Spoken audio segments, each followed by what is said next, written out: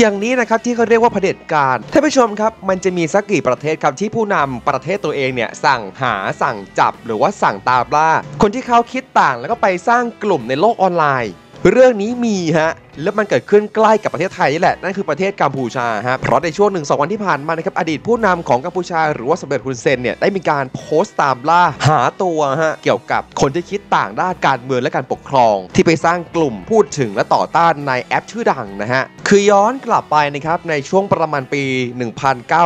1999 ผู้นำกัมพูชาแล้วก็อีก 2 ประเทศนะครับเขาได้มีการหารือกันว่าเฮ้ย ประเทศแกเนี่ยมันมีชายแดนติดกับประเทศฉันและบริเวณชายแดนดังกล่าวนะครับก็มี3ประเทศเนี้ยมันไปกระจุกอยู่ด้วยกัน ก็เลยมองเห็นช่องทางในการทำมาหากินเขาเลยมีโครงการที่จะใช้พื้นที่ตรงนี้ในการสร้างหาผลประโยชน์ฮะแต่ว่าไอโครงการตัวเนี้ยมันก็มีหลายคนที่คิดต่าง พยายามออกมาตอบโต้ ออกมาขัดขวาง ออกมาต่อต้าน ตรงไหนที่สามารถแสดงความคิดความเห็นได้ คนกลุ่มนี้ก็มักจะไปพูดถึงเสมอครับ แต่ว่าผู้นำประเทศเนี่ยเขาไม่ได้มองแบบนั้นว่าเฮ้ยนายคนเนี้ยมาแสดงความคิดความเห็น เขามองว่าไอ้พวกเนี้ยเป็นพวกปลุกปลั่น เป็นพวกที่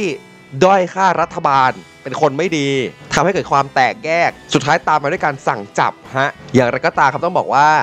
ไอโครงการบริเวณชายแดนตรงนี้เนี่ยหลายคนมองว่าเฮ้ย ถ้าโครงการเนี้ยมันได้ไปต่อ มันเท่ากับว่ากัมพูชาต้องเสียดินแดน หรือทรัพยากรบางส่วนเนี่ยให้กับเวียดนามไป นักเคลื่อนไหวหลายคนก็รู้สึกว่ามันเป็นสิ่งที่ไม่แฟร์กับประเทศของตัวเองเนาะเพราะว่าพื้นแผ่นดินเนี่ยมันอยู่มาตั้งนานแล้ว แต่มันจะถูกคุบเพียงเพราะผู้นำคนเดียวเนี่ยมันก็ไม่ถูก ก็เลยมีหลายคนนะฮะในการออกมาต่อต้านสิ่งเหล่านี้ แต่การต่อต้านเหล่านี้ก็ทำให้ฮุนเซนครับเกิดความไม่พอใจเป็นอย่างมาก แล้วก็สั่งจับกลุ่มมาโดยตลอดฮะอย่างไรก็ตามครับต้องบอกว่าตั้งแต่อดีตจนถึงปัจจุบันเนี่ยกลุ่มคนที่ไม่เห็นด้วยเนี่ยก็มีมากขึ้นเรื่อยๆ บางส่วนก็พยายามอพยพไปอยู่ต่างประเทศ อย่างเช่นประเทศเกาหลีใต้ประเทศญี่ปุ่น หรือแม้กระทั่งประเทศออสเตรเลียนะฮะและคนกลุ่มนี้เนี่ย เขาได้มีการไปสร้างเป็นกลุ่มต่อต้าน อยู่ในแอปพลิเคชันชื่อดังแอปหนึ่ง แล้วก็มีการพูดถึงเรื่องราวแบบนี้มาโดยตลอดเกี่ยวกับด้านที่ไม่ดีของฮุนเซนหรือว่าผู้นำอะไรแบบนี้นะครับ และเรื่องพวกนี้มันก็ถูกนำเสนอครับไปยังอดีตผู้นำอย่างฮุนเซน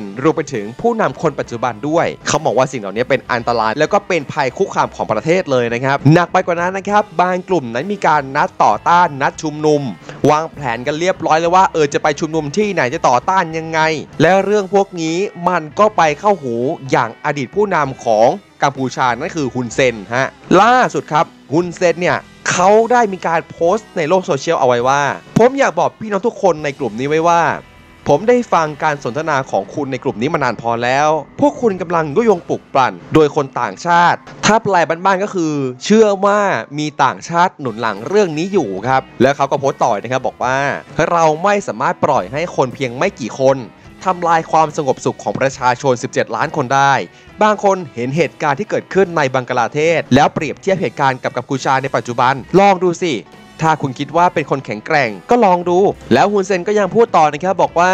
ในกลุ่มนั้นน่ะ ในกลุ่มแอปชื่อดังนั้นน่ะ มันมีสายลับของพวกเราอยู่นะ ซึ่งพวกเราเนี่ยสามารถเชื่อมโยงไปยังบัญชีของผู้ใช้ส่วนตัวได้ด้วย และบอกต่อนะครับว่า แต่เราจะไม่ดำเนินการอะไรกับคนในนั้น ถ้าหากว่าพวกคุณนั้นออกจากกลุ่มนั้นซะก่อน แล้วก็ตามมาด้วยการแถลงจากสมเด็จ แล้วก็ตามมาด้วยการแถลงของฮุนมาเน็ตนะครับผู้นำคนปัจจุบันโดยเขาบอกว่า ตอนนี้เนี่ยทางกัมพูชานะครับมันมีข้อตกลง และในข้อตกลงนี้บอกอกเลยว่า กัมพูชาจะไม่เกิดการสูญเสียแผ่นดินใด ๆ อย่างแน่นอน และเชื่อไหมครับว่าจากโพสต์ของฮุนเซนนั้นเนี่ยมีหลายคนออกมาตอบโต้และต่อต้านอย่างหนักนะครับเพราะว่ามองว่านี่มันคือการริดรอนสิทธิมนุษยชนหรือเปล่า จากเรื่องนี้ก็มีอดีตโฆษกของกลุ่มสิทธิมนุษยชน ได้กล่าวเอาไว้นะครับบอกว่าจริง ๆ แล้วเนี่ยชาวเขมร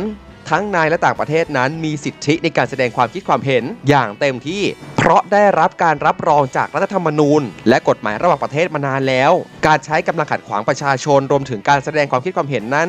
ไม่ควรเกิดขึ้นในประเทศที่รัฐบาลอ้างว่าเป็นประชาธิปไตย และเป็นประเทศที่สันติภาพสูงที่สุด คือต้องบอกนะครับว่า